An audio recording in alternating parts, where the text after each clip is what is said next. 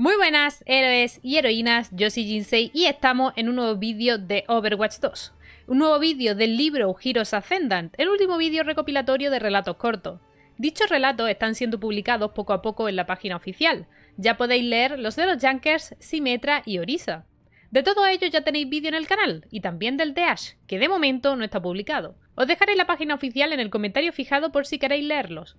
Como he venido haciendo hasta ahora, seguiré resumiendo y analizando cada uno de los relatos por separado. En el vídeo anterior trataba el emotivo relato de Ash y Bob, y el de hoy tiene como protagonista a Hammond, que ya os adelanto que a pesar de todo es muy interesante. Antes de ponernos a ello, también quería comentaros, que seguro que muchos no lo sabéis, que tengo un lindísimo canal secundario donde podéis disfrutar de los jueguitos que me paso en directo que no son Overwatch. Por si os gusta mi contenido, pues también podéis apoyar mi humilde canal secundario. Dicho esto, empezamos con el relato.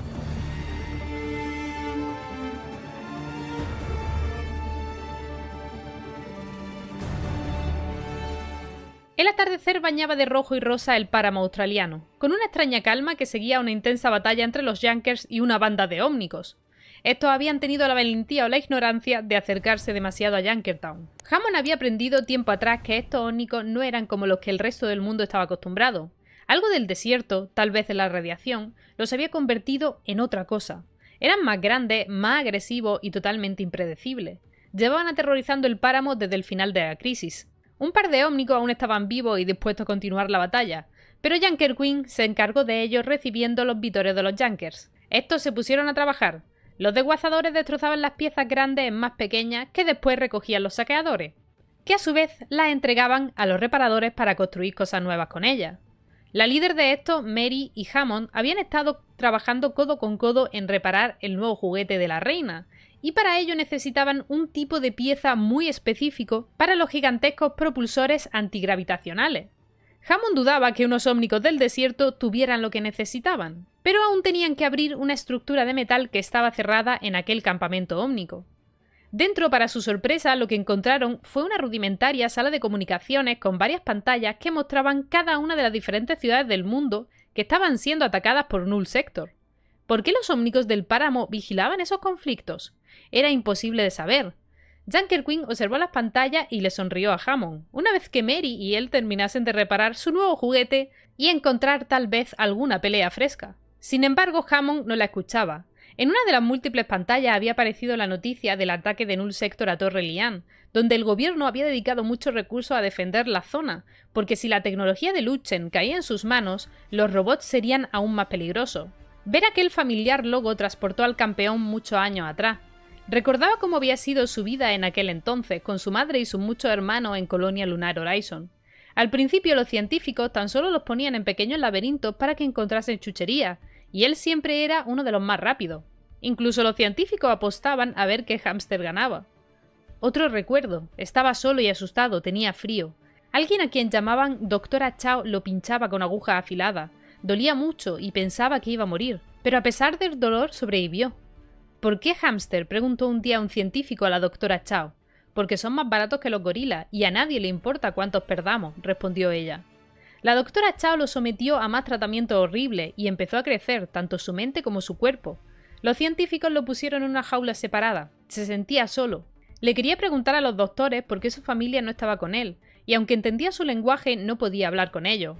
Cada vez que se llevaban a un hámster para hacer experimentos con él, tenía la esperanza de que después lo pusieran en su jaula, pero eso nunca pasaba. Todos morían, y Hammond no entendía por qué los científicos no estaban tristes. Volvió al presente cuando la reina le preguntó por qué había atravesado la pantalla con su gancho garra, algo que ni él mismo se había dado cuenta. Mary pasó a la sala con las manos vacías, no habían encontrado la pieza que necesitaban.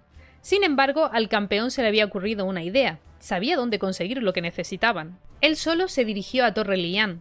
La ciudad entera había sido evacuada por el ataque de Null Sector, por lo que su misión fue más sencilla de lo que podía haber parecido.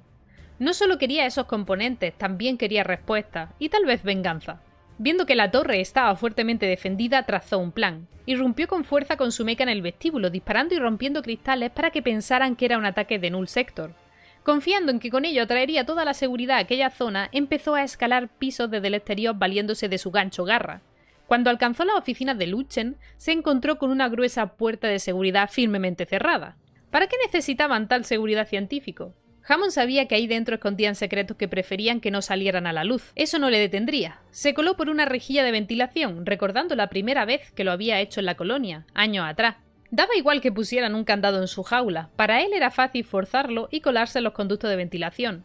Al principio lo había usado para ir a la despensa y comer cuanto quisiera. Después había descubierto los talleres y garajes. Allí se dio cuenta de lo divertido que le resultaba jugar con herramientas, intentar reparar cosas y crear nuevos mecanismos con aquellos que los humanos desechaban. Eso alimentaba su insaciable necesidad de aprender y retarse a sí mismo. Pronto, pocas cosas había que Hammond no pudiese arreglar o crear. Con el tiempo, además en su escapada, descubrió que había otras criaturas como él que habían sido mejoradas. Pero muchas de ellas estaban mal, Verlas había hecho que cada pelo de su cuerpo se erizase, y se había alejado todo lo posible de esos conductos. Pero un día descubrió a otro como él, al espécimen 28, un joven gorila que estaba separado de los demás. Después del mutuo sobresalto inicial, Hammond le ofreció una barrita de cacahuete como muestra de paz, y arregló el marco de su cama que chirriaba desagradablemente. Aquel fue el comienzo de su amistad. Había algo en la inocencia de aquel gorila que inspiraba en Hammond la necesidad de protegerle, también creía que se parecían mucho. Hammond se escapaba a menudo para ver a su nuevo amigo, le enseñó a arreglar cosas y 28 le mostró cómo soñar con algo mejor. Una noche le enseñó un dibujo que había hecho, ellos dos volando en cohete a la Tierra. De vuelta al presente, Hammond había encontrado lo que buscaba, la sala de seguridad. No le fue difícil noquear a los sorprendidos guardias y abrir la puerta para que su meca entrase. Rápidamente empezó a repasar las cámaras y aunque buscaba algún tipo de almacén donde pudiera estar los componentes, su atención la atrajo Colonia Lunar Horizon.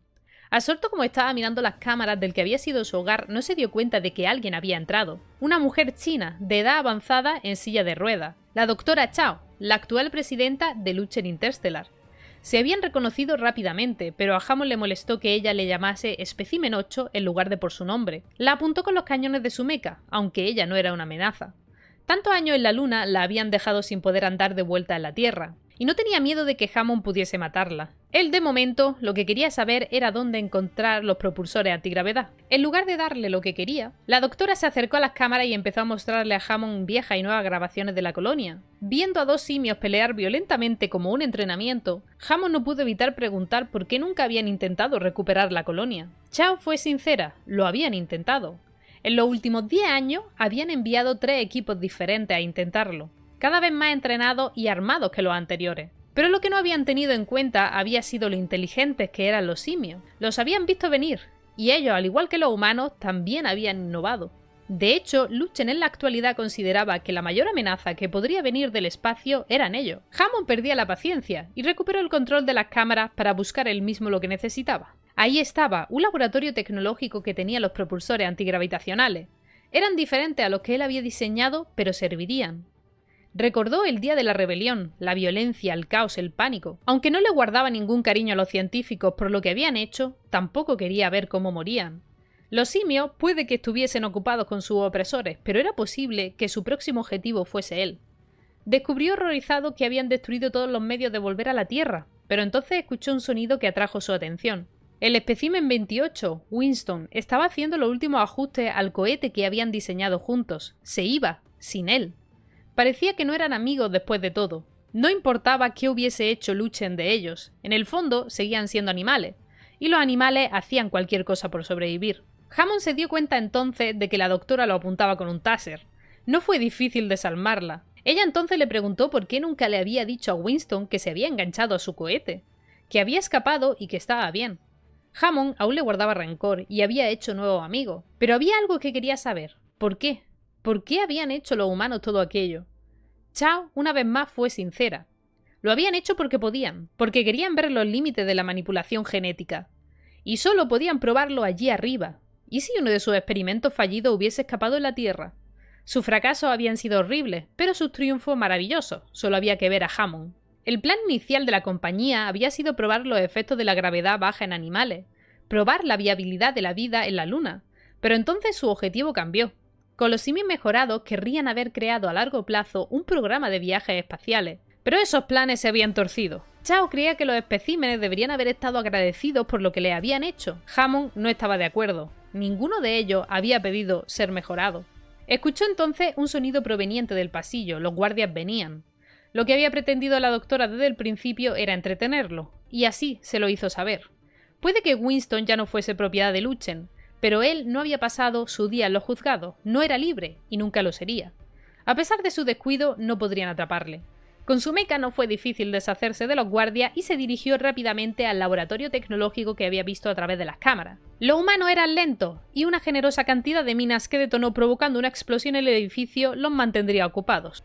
Había decidido no matar a la doctora, pero había aprendido mucho aquel día y tenía los componentes que había ido a buscar. Puede que los simios estuvieran atrapados en la luna, pero él no. Ya no era un hámster asustado. Ahora tenía un nuevo juguete y una amiga maníaca se vengaría de Luchen por todo lo que habían hecho. Este relato, como los demás, sucede poco después del ataque de Null Sector al mundo, pero además es una continuación casi directa del anterior relato de los Yankers, rivalidad amistosa. Y ya podemos afirmar casi con total seguridad que lo que encontraron en ese relato fue una nave. Aunque en ningún momento lo han dicho directamente, la forma en la que hablan del juguete de la reina y que quieren ponerlo en marcha y que vuele y montarlo, y que precisamente necesitasen unos propulsores antigravitacionales es bastante revelador. Por si eso fuera poco, en la ilustración del propio libro da bastante la sensación de que los Yankers están a los mandos de una nave. Siempre que me habéis preguntado cómo de posible era que los Yankers se unieran al conflicto, o a la trama principal de Overwatch, decía que me parecía poco probable, aislado en el páramo australiano y con sus propios problemas. Sin embargo, que tengan una nave y que a la reina le apetezca luchar contra Null Sector que es lo que parece insinuar en el relato, lo cambia todo. Aunque también creo que causarían más problemas que ayudar a la humanidad, pero eso está por ver. En este relato se menciona, o mejor dicho, se habla más por primera vez de los ómnicos del páramo. Hammond no sabe qué ha provocado que sean diferentes a los demás ómnicos del mundo. Puede que la radiación, el calor del desierto o su aislamiento. El caso es que son más grandes, agresivos y especialmente hostiles contra los Yankers. Su único objetivo es conseguir más armas y mejorarse a sí mismos para ser más destructivos. Por ejemplo, hay un ómnico con cinco brazos o uno de varios metros con un lanzacohete incorporado a su propio cuerpo. Básicamente, las bestias de metal que veíamos en el corto de origen de la reina no eran tan fantasiosas como pudiéramos creer. Teniendo en cuenta que estos ómnicos fueron los que vivieron en el Omnium antes de que el Frente de Liberación Australiano los volase por los aires, creo que fueron víctimas y que en la lucha entre Yankers y ómnicos del páramo ninguno son los buenos, aunque unos a otros se vean como los malos, no sé si me explico. El caso es que por algún motivo estos ómnicos están monitoreando el ataque de Null Sector, aunque el motivo no queda claro. Estos ómnicos en general parecen odiar a los humanos, así que podrían ser unos potenciales aliados para Ramatra o por lo menos simpatizantes de su causa. O a lo mejor incluso esperan que Ramatra los libere a ellos también. Sin embargo, el punto fuerte de las revelaciones de este relato es todo lo que tiene que ver con Colonia Lunar Horizon. En parte por el corto La llamada, siempre habíamos visto a los científicos de esta colonia conociendo casi únicamente al Dr. Winston más que de nombre, como víctimas de la rebelión de los simios. La experiencia de Hammond en todo esto nos da una visión mucho más cruda de lo que fue ser un espécimen. La terapia genética no era un proceso inocuo para ellos como hubiésemos podido pensar. Era básicamente una tortura y los doctores los veían como experimentos y poco más. Quizá el doctor Harold fuese la excepción porque Winston le guardaba un cariño genuino, pero Seguramente sabía bien que los demás especímenes sufrían y mucho. Los experimentos fallidos se mencionan en un par de ocasiones y parece que los resultados eran horribles, terroríficos. Pero si Hammond los vio, ¿es que los mantenían vivos y encerrados? Si siguen vivos, ¿los simios los querrán usar o los usarán como un arma? Porque ya tenemos respuesta a dos grandes preguntas que nos hacíamos con respecto a Colonia Lunar Horizon. ¿Siguen los simios allí? ¿Intentó Luch en recuperar la base? Sí y sí y los simios fueron más listos que los humanos. De hecho, la doctora Chao considera que son una amenaza potencial para la humanidad actualmente por la forma de hablar, y tal vez tenga que ver con algo que menciona Hammond. Cuando estaban revisando las cámaras, en el mirador se dio cuenta de que había una estructura que no había estado antes, y pensaba que podría ser obra de los simios. Dado que estos destruyeron todas las formas de salir de la base para que los científicos no escaparan, ni más humanos pudieran llegar por esos medios, ¿están construyéndose una forma de viajar? ¿Una nave tal vez y es lo que teme la doctora Chao? Todo esto me estaba haciendo pensar en la próxima heroína, Space Ranger, y su posible lore. Lo único que sabemos de ella es que procede de una colonia en Marte y hasta donde sabemos, Luchen es la única compañía del universo de Overwatch capaz de algo así. Por lo que he pensado, ¿y si los simios no pretendieran ir a la Tierra, donde estarían en desventaja sino tomar la colonia de Marte? Creo que sería muy interesante y un lore fresco, con una amenaza nueva, más allá de la ya conocida. Pero esto es solo una forma de hilar, una teoría, a esta nueva heroína que no conocemos con esta historia tan interesante. Porque ha sido realmente sorprendente y agradable que profundicen en el lore de la colonia lunar. Hammond tuvo la oportunidad de vengarse de la cruel doctora Chao matándola, pero parece que quiere que su venganza sea más a lo grande y hunda el imperio que ella logró construir. No me pillaría por sorpresa que la primera parada de la nave de los Yankers sea la torre de Lian para echarla abajo, pero probablemente Hammond sepa que eso los convertiría en víctimas. Grabó toda la conversación que tuvo con Chao, así que que sus trapos sucios salgan a la luz, por ejemplo, podría ser un buen paso para empezar a hundir la compañía. Me ha dado bastante pena Hammond en este relato a decir verdad. Lo mal que lo pasó en la colonia y cómo fue ver que Winston le traicionaba. Cuando la doctora le pregunta por qué nunca intentó contactar con él, se lo piensa, no sabe el motivo. La verdad es que me gustaría que tuvieran un reencuentro e hicieran las paces. Me gusta creer que Winston tuviera un motivo para huir dejándole atrás y que no fuera solo por miedo y supervivencia y que lo traicionara cruelmente. Pero de momento, eso es todo. Espero para la semana que viene hacer otro vídeo del siguiente relato que es el de Hanzo, que también promete. Eh, pero no cerráis todavía el vídeo. Recordad que estoy todos los días en directo en la plataforma morada, así que pasaros a saludar y a echar un rato charlando y jugando. Y como siempre, dejadme en los comentarios qué os ha parecido el relato, o el vídeo en este caso. Gracias a los miembros del canal, Ale Juan, AFMG, Javiu, Josué, Cristian Lorenzo, Yankee MD, Fabricio, Sanjin, Scan, Drakins y Koru. Muchísimas gracias por vuestro apoyo y nos vemos en directo y en el próximo vídeo. Dale like si te ha gustado, suscríbete si quieres ver más, compártelo que no se te olvide y hasta otra.